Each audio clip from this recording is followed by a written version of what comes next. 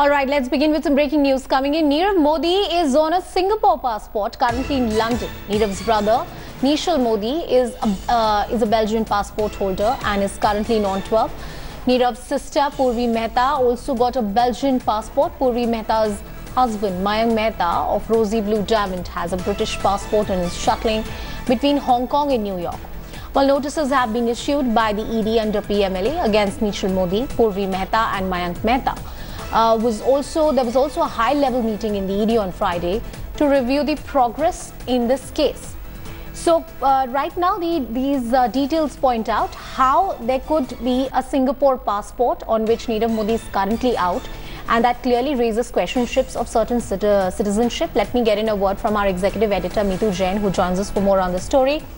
Meetu, help us understand how are these details important and put it into perspective for us.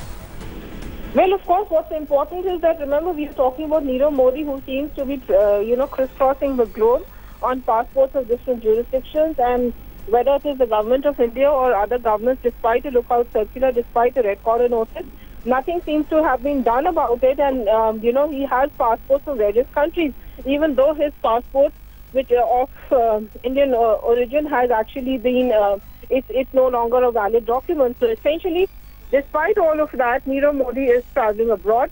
This time we hear he's on a on a British passport, and in the past as well, he has been seen out, uh, in in an outhouse outside London. So essentially, what people are telling us is that they have spotted him in London.